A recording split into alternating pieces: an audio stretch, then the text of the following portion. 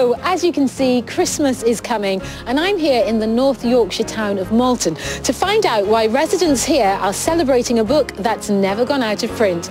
Charles Dickens' classic, A Christmas Carol.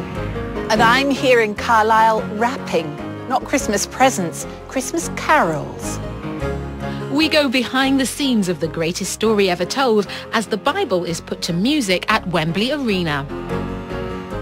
And we catch up with our German and British families as they meet up in Ypres for the 100th anniversary of the World War I Christmas truce.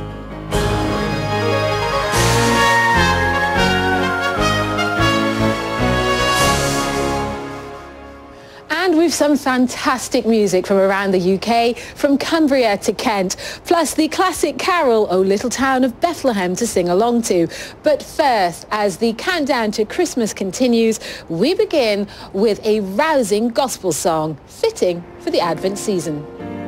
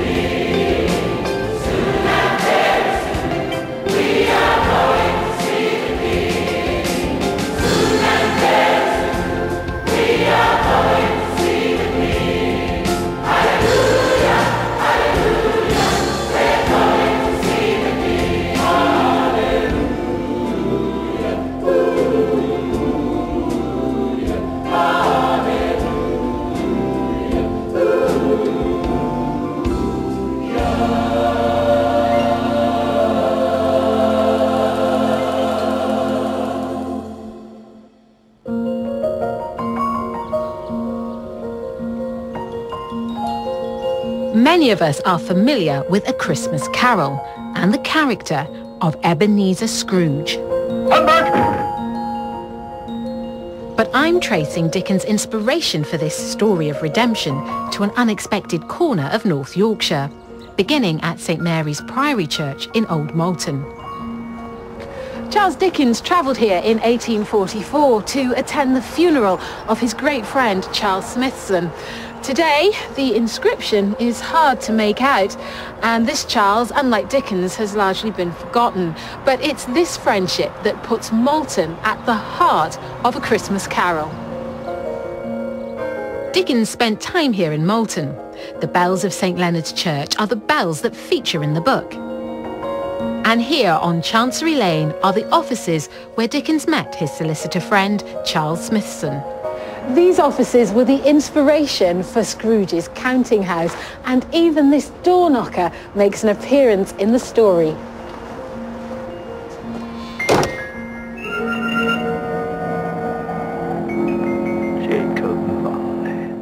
Today this place is a museum to A Christmas Carol. Local resident and familiar face Selina Scott has some insider information. Selina, you've a very special connection to Malton and Dickens, haven't you? Yes, my grandfather became the editor of the local paper here, the Malton Messenger. Uh, and as a little girl, I remember him clearly telling me all about Charles Dickens and all about A Christmas Carol. Scrooge and his love of money, they're the real villain of the piece, aren't they?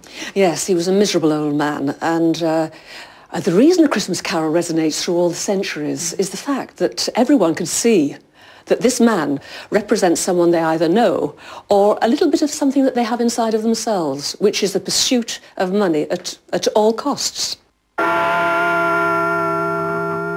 But essentially, it's a story of redemption. Yes, thanks to the three ghosts of Christmas past and present and future who came to him on Christmas Eve and basically pushed him out of his miserableness towards his fellow man. So he changed. And that's what that's what's so compelling about the book that we we feel better about it when we finish it.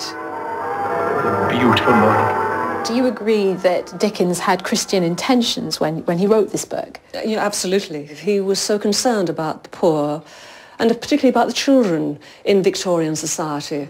And he used this little book as a way of turning people's minds and focusing people's minds on this problem in their midst. And certainly I, I, think that the message through it all is one of the Christian religion and, and how we can all do more. And, uh, and certainly Dickens himself, in letters that he wrote to the Smithson family, um, says it quite clearly that he, he believes in Christianity, and this is his expression of it. But the story doesn't end here. You've actually got something very valuable in Malton. Yes, we've got a rare treasure. Uh, it's tucked away in a safe just around the corner from here. Say no more, Selina. We shall hear more about that later. But right now, let's enjoy a Christmas carol that the redeemed Scrooge would have approved of.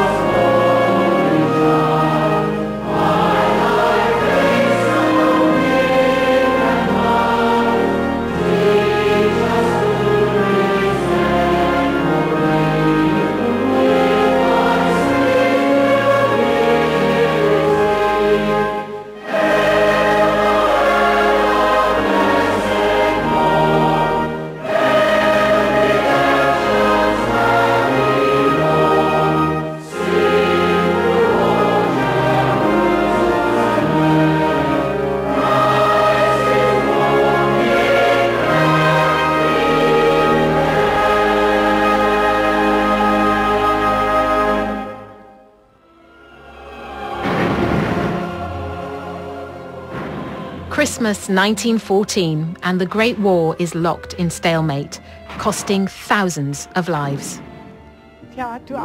Last week we met two families, one German and one English. They're travelling across Europe to the place where their relatives met 100 years earlier. They're the descendants of Private William Tapp and Lieutenant Kurt Zehmisch, who both kept diaries as the Christmas truce unfolded at this very spot near Ypres in Belgium. Merry Christmas. Merry Christmas. Hi, Merry Christmas. Don't you think it's amazing that a hundred years ago our grandfathers met purely down to fate? Yes. And then now, a hundred years later, we're doing exactly the same thing. Yes. Fate's brought us together. Historian Alan Reid has also made the journey to provide expertise on the truce. Do you want to know a bit more? Oh yes, indeed. So if you look at this map, it shows you where we are exactly. Mm-hmm. So in front of us would have been the British front line, and behind us would have been the German front line. So the Warwicks came across and met more or less behind you, uh, Luke. Then on Christmas Eve, it's the Germans who started the hymn singing. You know, Home Sweet Home, Heilige Nacht. Ja, genau. and of course the Warwicks responded. Ja. Uh, so there was a bit, a bit of banter going on, and then on Christmas Day, they all came out. Now, do you want to see a famous photograph that was taken at this very spot? Yeah, that would be amazing. These two are Warwick soldiers, you know, the, the old bills, as we call them. All the others are Germans. Wow. So they're properly mixed Interesting, in there. They in the probably group. mixed it, as you can see. Yeah. And then the thing they did as well, which is quite sad but appropriate, they buried their dead. Because they were dead lying here. They could not be buried. So they, they buried their own dead and had a, a bit of a service. It's great to be here today with the uh, two families who at the time were on opposing sides. December was one of the wettest months uh, of the year in 1914. Some of the men had waist deep in mud and they were suffering the same condition and then they found a chance where they could stop fighting and became human again. And that's what happened here uh, in, in these fields you know, in Belgium. Very, very special, very special place. Soon, couple of English brought the football out of their trench and a vigorous football match began. This was all so marvelous and strange. The Christmas truce is synonymous with football and thanks to the family's diaries, we know a game did take place. We're trying to arrange a football match with them for tomorrow, Boxing Day. And they say they're not going to fire again if we don't. Good game. Good game. Morgan's brought a football to leave in memory of his relative. The Christmas truce is just a great example of men having faith in each other to not take advantage of sharing no man's land and putting down their weapons. And it's just the best example of how important Christmas is to, to Christian people.